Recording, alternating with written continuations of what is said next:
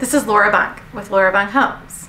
Today, in this video, I want to talk to you about why you should use a realtor to buy or sell a home.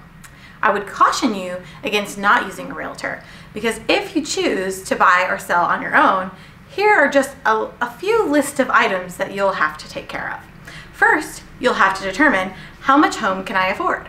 Second, what will my down payment be? And then if you have to sell a home to buy another home, um, what will my home currently sell for? You'll have to decide. Then you'll have to get the house list ready. What does that even mean? How do I get the house ready to market? Um, what do buyers want? What, what repairs? What do I need to do to this house? Then once it's ready, I'm gonna have to put it on the market. Um, after you put it on the market, you're gonna need to market the house. How do you do that? Who do you market it to? Where do you publish it? How do you bring buyers to come see your house? Then once you get the buyers there, you're in charge of the sale of your house. So you're gonna have to be there for every showing to allow the buyer or the buyer's agent to come in and tour. Um, then after that, you're gonna have to consider every offer that you get. You're gonna have to negotiate those offers. Once you come to some terms that you agree on with the buyer, then you're gonna have to hire an attorney to write up the contract for you. After you do that, then you're gonna think about buying your next home. So you're gonna need to study different neighborhoods, um, go look at other homes on your own.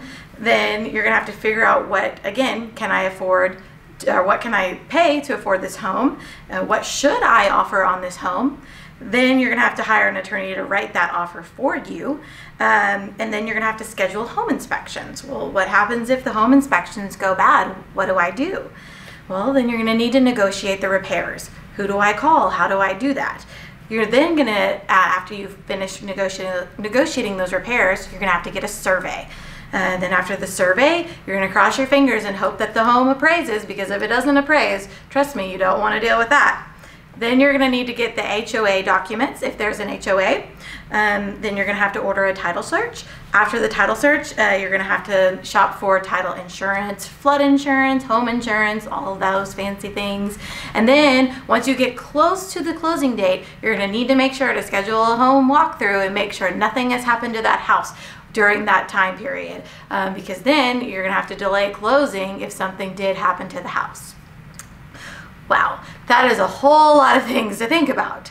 So if you were to have just hired an agent, your agent would have done all of those things for you. Your agent would have made sure that that was the smoothest process so that you could have continued to enjoy your life, work at your job, and not worry about the stress of all these little details. So besides just facilitating the process, realtors do a whole lot more for you that is to your benefit. Um, so first, to the buyer. I want to talk to you buyers about why you need a realtor.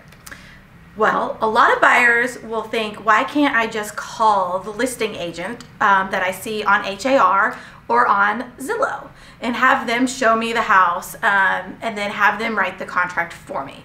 Well, you absolutely can do that, but I want you to be aware that that agent works for the seller. So it is that agent's job to convey to the seller everything you tell them, and it is their job to get the highest offer for their client's house. Um, they don't represent you and they're not looking out for your best interest.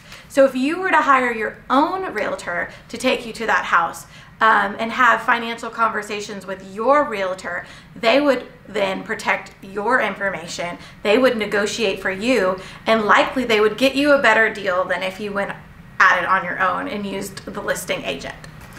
Then the second reason would be because as a buyer, you don't even pay for a realtor. It is absolutely a free cost to you. Nothing is free in life, but but this one is. Um, so the sellers actually pay all the realtor commissions. So when you hire an agent, not only are you hiring someone to have your best interest and to negotiate on your behalf, but you don't even have to pay them to do that. How nice. Um, third, the buyer um, doesn't always know the trends of the market or the neighborhood. They they don't know what things have sold for around there, and you know maybe they hear word of mouth around what things are selling for, but they might not have the whole story as to what a home looks like and why it sold for what it did. As your agent, your your buyer's agent will be able to tell you, you know, what they think this home is valued at, so that you're not ending up overpaying for a home. Also, for um, especially for first time home buyers, it's really difficult to understand the contract. Um, there's so many terms and conditions within the contract that your agent will help you uh, understand and walk through what those terms mean. And they are, again, negotiating for the best terms for you. And then lastly, for a buyer, I get this question all the time is, you know, if I'm working with a builder, a lot of times the builder is going to give me a better rate without an agent. Um, but more than likely, that builder has an agent that's working for them, or they call it a sales manager, which they are an agent. Um, and that person works for the builder. It's just like using a listing agent. So that person is trying to keep as much money in the builder's pocket as possible. And you want to make sure that you're again getting the best deal. Also um, that person that's working for the builder or even if you're working directly with the builder they're not going to have to disclose to you if there's any bad terms or or sticky situations in that contract. Um, but your realtor is going to know exactly what that contract means and going to be able to fight on your behalf. So next i want to talk to you sellers to sellers. What is the benefit from using an, a, an agent to sell my house versus selling it on my own, which is a term FSBO, what we call for sale by owner. Why not just be a FSBO? Well, a lot of people decide to sell their own house strictly because they want to save on commission costs.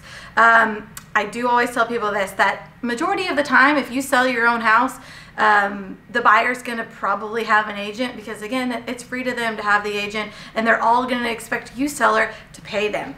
And that would mean you're technically only saving half the cost but doing 100% of the work that that you're still doing. Um, and your and other reasons would be your agent would really guide you on how to price that house. So i always tell my clients this when a house is priced right not only is it going to sell quicker, but you're probably going to end up selling it for more. A lot of for sale by owners aren't sure what they need to sell their house for, and so they just come up with a number um, that they think, and either it's too high and the house sits for a long time, or it's too low and they end up leaving money on the table that they could have gotten had they used an agent.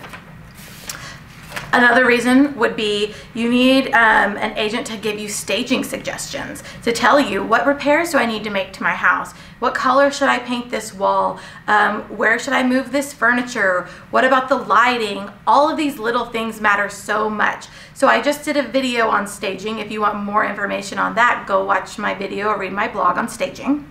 Um, fourth would be your agent as a, seller's agent is going to do professional photos for you or at least i do for my clients. I hire really great photographers to make your house look stunning online to a buyer to bring multiple buyers in.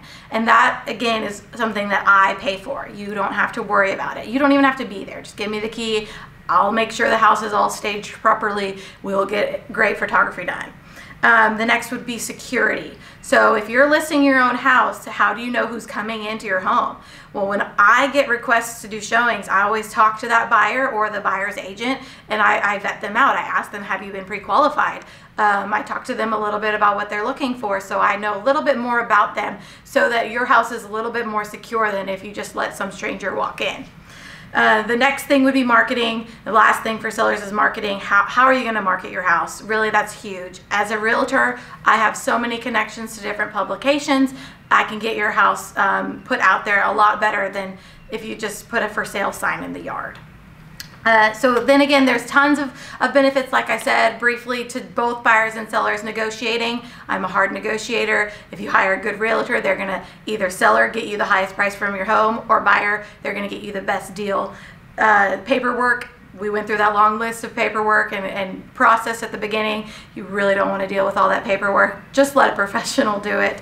Then um, next would be facilitating. Um, you know, what if your house doesn't appraise? I mentioned that in the list. Well, I, you know, I've seen where homes don't appraise and it is a headache. And as a, a, you're realtor, as a professional, I make sure that you as the buyer or the seller is protected and you again get the best deal. And then lastly, when we when we close on your house after you buy or you sell, I will make sure to follow up with you. Um, you are my client forever, and all of my referrals for home projects and repairs they uh, are disposable to you. Anyone that I know, I will refer to you and I will make sure that you are taken care of. So these are just a couple of reasons why I think you should use a realtor. And uh, if you have any questions, please reach out to me. You can find me at laurabonckhomes.com um, or give me a call anytime. I'm happy to chat with you.